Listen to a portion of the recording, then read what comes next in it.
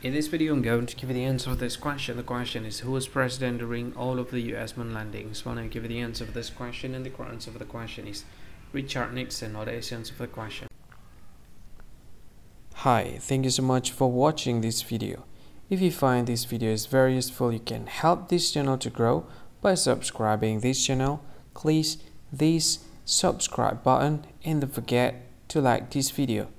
And if you find this video is not really good or you don't really like this video or you kind of feel that it's a little bit offensive or something like that, you can click this one, dislike button. You can do that anyway. And if you want to share this video with your friend, you can share it by clicking this share button and you can share it to any any social media that you wish that is currently available at this time like Facebook, Twitter, LinkedIn, and many others. Right? And if you want to add this video to your playlist, you can click this one. You can watch this video later and you can find more options by clicking these three dots.